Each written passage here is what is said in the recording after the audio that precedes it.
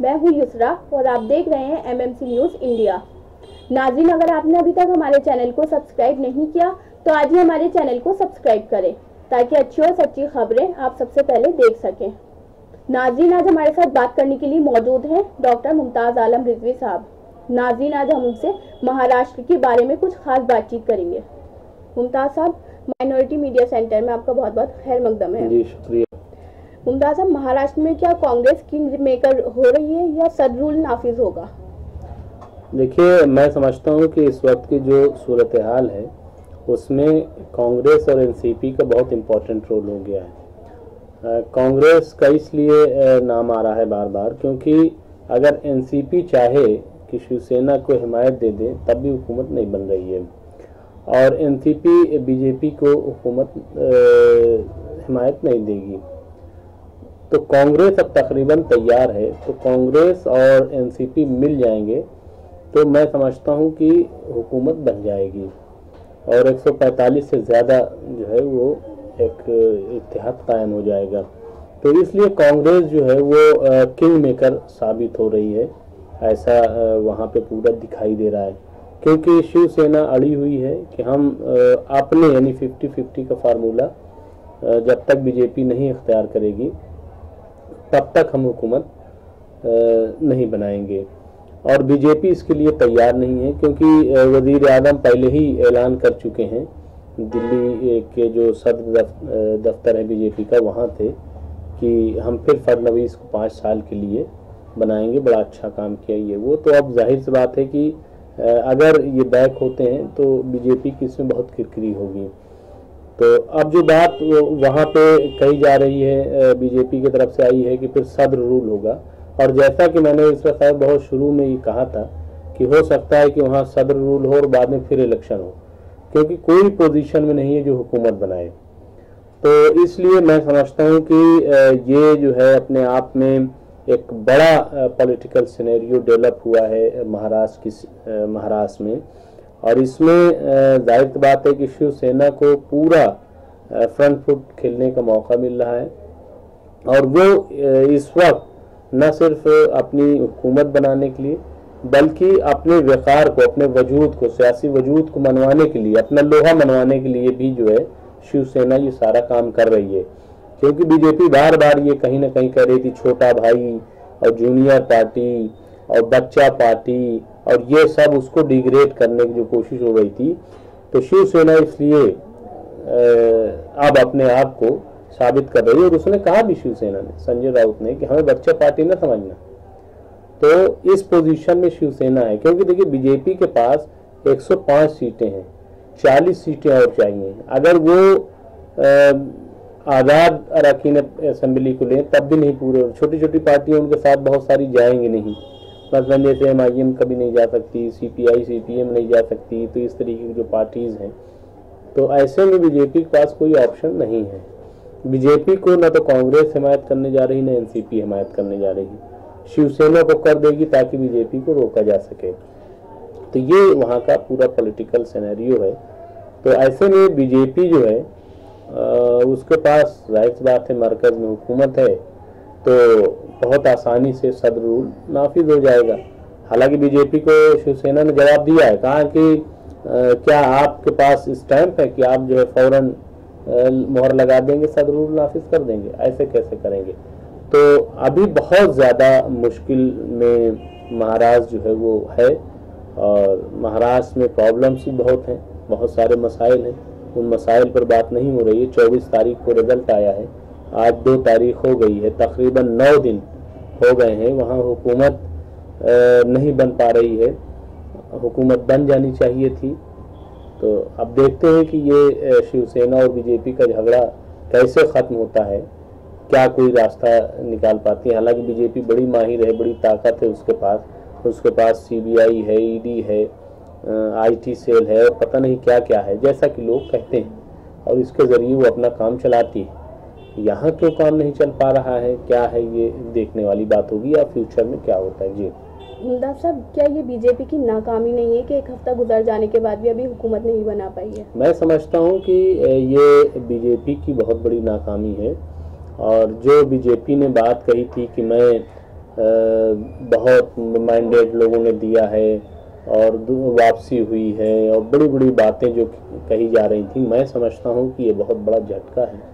ख़ास तौर से जब ये नारा दिया जा रहा था हरियाणा में पचहत्तर के पार, यानी वहाँ पे नब्बे सीटें हैं। और महाराष्ट्र में ये कहा जा रहा था ढाई सौ से पार, क्योंकि वहाँ दो सौ अट्ठासी सीटें हैं। कांग्रेस एनसीपी को सिर्फ़ 25 से 30 सीटें जो एग्जिट पोल आया था उसमें दिया जा रहा था। तो ऐसी सूरत हाल में ज़ाहिर सी बात है ईसा साहिबा कि ये ये शिकस्ती है, जिसको हम हार मानेंगे। यानी जो लड्डू मैं बार बार कह रहा हूँ, जो लड्डू आप बांटने के लिए ख़रीदा था, आपने बनवाए थे लड्डू, वो लड्डू धरे के धरे रह गए। लड्डू जो है, वो बट नहीं पा रहे हैं। मिठाई जो है, वो खटाई में बदल गई। जो मिठाई बीजेपी की थी, वो खटाई बन गई। तो फिर ऐसे सूरत में हम इसको क्या कहेंगे? ये कोई कामयाबी तो है नहीं। कल मैं न्यूज़ एटीन उर्दू में बैठा था डिबेट में। तो मैंने कहा कि असल में बीजेपी जो है ओवर कॉन्फिडेंट बहुत होती है। तो उसने नीचे कुर्सी सजा ली, नीचे कुर्सी उर्सी सजा ली, लेकिन ये नहीं देखा कि वो खजूर में ओहदा अटक गया है। वो नीचे आया ही नहीं। तो इसीलिए मामला जो है और फडनवीस जो है, वो क्या करें? क्योंकि उनको कुर्सी मिलते मिलते जो है वो रह गई। वो पहले ही उन्होंने, हो सकता है बैठ कर कुछ मामला हल हो जाते। लेकिन इधर पीएम ने कह दिया, उधर फडनवीस ने कह दिया कि सीएम तो बीजेपी का होगा। अब जब ये कह दिया तो उस पर जो है विफर गई शिवसेना, कि अच्छा बनाओ फिर। जाके बना के दिखाओ। यही चीज़ कही, जाके बना के दिखाओ। तो अब बीजेपी कैसे बना? अच्छा पहले फिर ये कहा कि हम गवर्नर पास जाएँगे, हम वो कर लेंगे बाद मनवान तो अगर मान लीजिए हलफ ले ले, बड़ी पार्टी है, गवर्नर जिनका है, दावत दे देंगे। कि आप, ये रूल है कि बड़ी पार्टी होती है, उसको गवर्नर दावत देता है कि आप हुकूमत बनाएँ। और फिर आप फ्लोर पे उसको टेस्ट होता है, साबित करें, अपना, अपनी अक्सरियत साबित करें। लेकिन अगर अक्सरियत नहीं साबित हुई और हुकूमत गिर गई तो यह बुरी चीज़ होती है। ये और चीज़ ये और बुरी बात होती है। तो इसलिए भी जो है, ये बीजेपी डर रही है। तो ये पूरा सिनेरियो है। और इसको हम हम क्या सभी, जो भी थोड़ा सा भी सियासी शूर रखता है, ये बता देगा कि ये बीजेपी की बहुत बड़ी नाकामी उसके साथ तालमेल नहीं हो पा रहा है दूसरा साहिबा कि जिसके साथ मिलकर इलेक्शन लड़े हैं। आप ये तो देखिए। मतलब मैं तो दोनों को कहूँगा। कि दोनों को महाराष्ट्र के आवाम की फ़िक्र नहीं है। अगर आवाम की बात करें तो उसमें तो मैंडेट दे दिया दोनों को मिल करके क्योंकि दोनों इलेक्शन मिल करके लड़े थे। 145 चाहिए, इनको एक सौ छप्पन सीटें दे दी गई, बल्कि एक सौ इकसठ गालिबन मुझे एग्जैक्ट फिगर नहीं याद। लेकिन 145 से ज़्यादा है। तो मैंडेट है, आज हुकूमत बना सकते हैं। लेकिन वहाँ बात यह है कि चौधरी कौन बनेगा? मैं बड़ा कि तू बड़ा? बड़ा भाई कौन बनेगा? अच्छा ज़िम्मेदारी किसी को नहीं अदा करनी है, चाहे जो बड़ा भाई बन जाए, लेकिन बड़ा भाई बनना है। ये जो बड़ा भाई बनने का शौक है ना तो ये बहुत खतरनाक है। अगर ज़िम्मेदारी, ईमानदारी से अदा की जाती, ठीक है तो बड़ा भाई बनने का शौक किसी को नहीं होता। लेकिन चूँकि लूटना, घसोटना है तो इसलिए हर कोई बड़ा भाई सोचता बंद करके और सारा माल जो है, हड़प ले। तो शिवसेना भी अभी कह रही कि हमें बड़ा भाई न बनाओ, लेकिन हमें बराबर को जुड़वा भाई बनाओ। शिवसेना जो है, वो कह रही कि हमें बड़ा भाई मत बनाइए आप, लेकिन जुड़वा भाई बनाइए।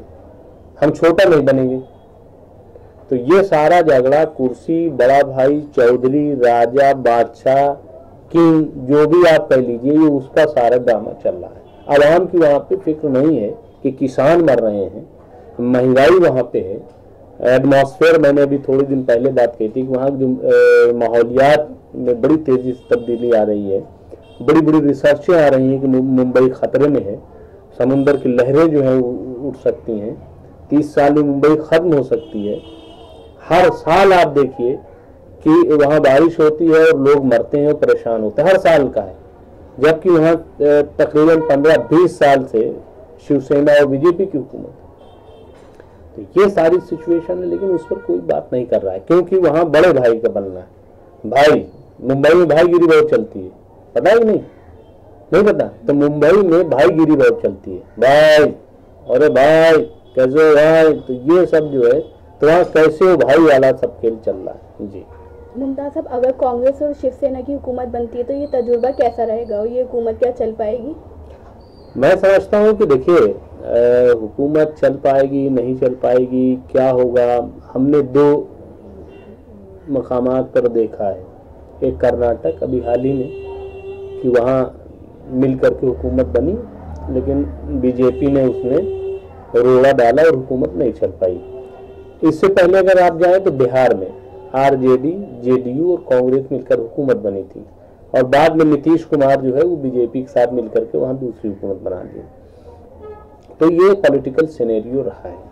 और भी मिसालें मिल जाएँगी। मैं नहीं कहता कि ये चीज़ जो है बीजेपी के गवर्नमेंट में हुई है। कांग्रेस के गवर्नमेंट में भी हुई होगी, ये पॉलिटिकल हुआ। मैं उस पर नहीं जा रहा लेकिन ये जो आपने कहा कि नया तजर्बा, ये बिल्कुल नया तजर्बा होगा शिवसेना के साथ हुकूमत बनाने का। और शिवसेना के लिए भी बिल्कुल नया तजर्बा होगा। लेकिन देखिए क्या है असल में दूसरा साहिबा, कि जो नजरियाती लड़ाई है और वो तकरीबन जो है अब नापायद सी हो रही है। मतलब शिवसेना के साथ कांग्रेस को जाने में कोई तकल्लुफ नहीं होगा, ये हैरत की बात है। ये हैरत की बात है। एनसीपी को शिवसेना के साथ जाने में तकल्लुफ नहीं होगा, ये हैरत की बात है। उसकी वजह यह है कि दोनों के बिल्कुल अलग छोर हैं। एक राइट विंग है और एक हम लेफ़्ट विंग कह लें। यानी एक का नज़रिया जो है वो सेकुलरिज्म है और दूसरे का नज़रिया कम्युनलिज्म है, बिल्कुल। बिल्कुल मुख्तलिफ़ है।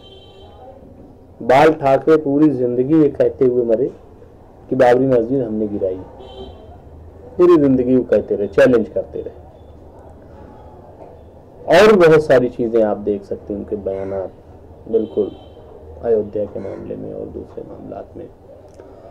और कांग्रेस का जो एजेंडा है, मैनिफेस्टो है जो इनकी पार्टी है, वो बिल्कुल सेकुलर लेकिन चूँकि सियासत जो है, बड़ी अजीब गरीब चीज़ है वहाँ कौन सा कब तजर्बा किया जाए, कुछ नहीं कहा जा सकता। मसला ये है कि वहाँ बीजेपी को कैसे शिकस्त दी जाए, बीजेपी की चौधराहट कैसे ख़त्म की जाए, इसके लिए ये हिमायत दी जा रही है। वहाँ पॉलिटिकल सिनेरियो चेंज करने की बात है। और तीसरी बात यह है, जो मैं समझ पा रहा हूँ कि कांग्रेस और एनसीपी ये भी समझ रही है कि फ़िलहाल इलेक्शन न हो। क्योंकि इलेक्शन कराना बहुत मुश्किल काम होता है, सरकार के लिए भी और जो पार्टी है उनके लिए भी, पूरी तैयारी करनी पड़ती है। आवाम भी बहुत डिस्टर्ब होती है, आवाम भी बहुत डिस्टर्ब होती है। मैं समझता हूँ कि ये तजर्बा कामयाब होगा नाकाम होगा इस पर अभी कुछ नहीं कहा जा सकता। आ, लेकिन ये है कि ये एक तजर्बा हो सकता है महाराष्ट्र में कि एनसीपी को हिमायत दे दी जाए और एनसीपी का चीफ मिनिस्टर बना दिया जाए चीफ मिनिस्टर पर मुहर लग जाए। बाद में क्या होता है ये अलग चीज़ है। एक चीज़ और जो कल सोनिया जी ने कहा कि हम हिमायत नहीं देंगे उसकी एक बड़ी वजह ये है कि देखिए प्रेशर पॉलिटिक्स कर रही है शिवसेना। प्रेशर पॉलिटिक्स कहते हैं कि जैसे आ, वो ये कह रही है शिवसेना कि अगर आप हमें नहीं बनाते हो तो हम एनसीपी और कांग्रेस से मिल करके बना लेंगे। बाकी शिवसेना के पास कोई ऑप्शन नहीं है। अगर छप्पन सीटें हैं किसी के पास और 145 सीटें चाहिए तो कोई कैसे दावा कर सकता है? नहीं कर सकता। नहीं कर सकता, कि जब तक कोई बैक में ना हो। अगर शिवसेना इतना बोल रही है तो इसका मतलब ये है कि बैक में कोई है, और बैक में और कौन हो सकता है? बैक में कौन हो सकता है? सवाल ये कि एनसीपी और कांग्रेस? तो बहरहाल ये है, नया तजर्बा है, और पॉलिटिक्स में इस तरीके के तजर्बे होते रहते हैं। हमने इससे पहले भी देखा है सेवेंटी एट में। सेवेंटी नाइन की मेरी पैदाइश है। मैंने देखा, इसलिए कहा कि गोया कि मैंने हिस्ट्री पढ़ी है। मैं उस वक्त था नहीं। तो लेकिन सेवेंटी एट में भी इस तरीके के तजर्बे हुए थे और तमाम पार्टीज़, जिसमें संघ के दो दो मेंबर पार्लियामेंट थे सिर्फ़ जनता पार्टी के बाद में भारतीय जनता पार्टी बनी। तो दो पार्टी मिल करके और तमाम पार्टियाँ मिलकर के एक प्लेटफॉर्म पे आए थे ताकि कांग्रेस को सबक सिखाया जा सके। तो इस तरीके के तजुर्बे, ऐसा नहीं कि माजी में नहीं हुए माजी में भी इस किस्म के तजुर्बे हुए हैं। तो कहने का मकसद ये है कि पॉलिटिक्स में कोई नई चीज़ नहीं होती है। और नई चीज़ होती भी है तो वो ज़ाहिर सी बात है कि जैसा सनेरियो होता है, जैसा माहौल होता है, जैसी ज़रूरत होती है वैसे पॉलिटिक्स में, क्योंकि पॉलिटिक्स का मैं जो समझ पाया हूँ एक ही धर्म है। पॉलिटिक्स का सियासत का एक ही मज़हब है, और वो मज़हब है इकतदार, कि हमें हुकूमत कैसे मिले। अब कोई कुछ भी कहे जनाब मैं ये करने के लिए पॉलिटिक्स कर रहा हूँ, मैं ये करने के लिए, नहीं नहीं, कुछ नहीं।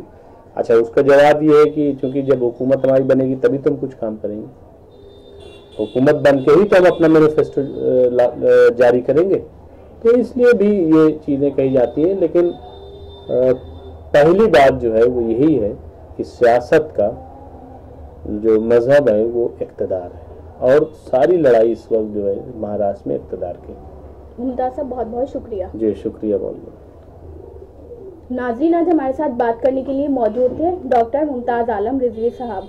तो नाजरीन हम फिर हाजिर होंगे कुछ बड़ी खबरों के साथ। तब तक के लिए हमें दीजिए इजाज़त और देखते रहिए एमएमसी न्यूज़ इंडिया और हमारे चैनल को ज़्यादा से ज़्यादा सब्सक्राइब कीजिए। शुक्रिया। खुदा हाफिज़।